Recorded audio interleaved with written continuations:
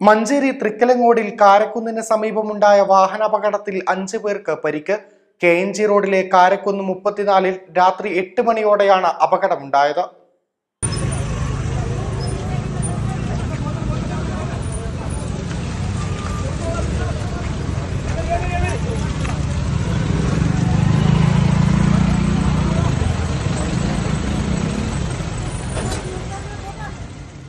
കാരക്കുന്നിൽ നിന്നും പത്തപ്പിരിയത്തേക്ക് വരികയായിരുന്ന ജീപ്പും ചീനിക്കൽ ഭാഗത്ത് നിന്ന് വരുന്ന ദോസ്ത് ഗുഡ്സും തമ്മിൽ കൂട്ടിയിടിക്കുകയായിരുന്നു.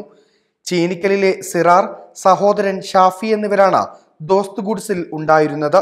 ജീപ്പിൽ ഒരു കുട്ടിയടക്കം നാലു പേരുണ്ടായിരുന്നു. നാട്ടുകാരുടെ നേതൃത്വത്തിൽ രക്ഷാപ്രവർത്തനം നടത്തി പരിക്കേറ്റവരെ മഞ്ചേരി കോഴിക്കോട് ആശുപത്രികളിൽ പ്രവേശിപ്പിച്ചു. എടവണ്ണ പോലീസും ഇ അംഗങ്ങളും സ്ഥലത്തെത്തിയിരുന്നു.